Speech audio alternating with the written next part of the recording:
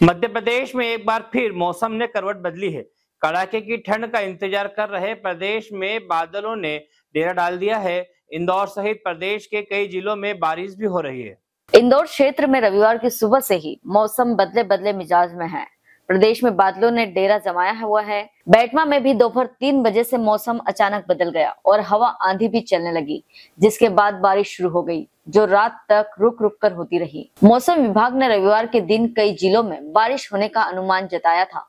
अचानक हुई बारिश के चलते तापमान में गिरावट हो गई है। बैटमा इंदौर से राजन सूर्यवंशी की रिपोर्ट। हेलो फ्रेंड्स आप देख रहे हैं हमारा channel S W twenty four news हमारे सारे वीडियो सबसे पहले देखने के लिए आप हमारे चैनल को सब्सक्राइब करें और पास में लगे बेल आइकन को दबाना बिल्कुल भी ना भूलें।